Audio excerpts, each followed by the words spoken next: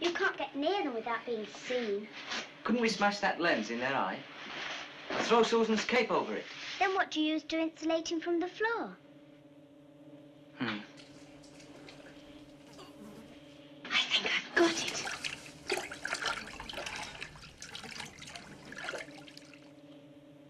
All ready, Barbara.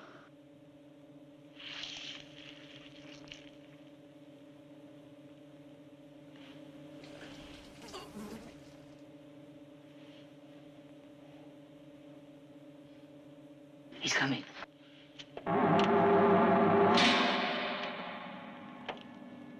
Dalek! Yes! Ah, help! Help! Help! Help!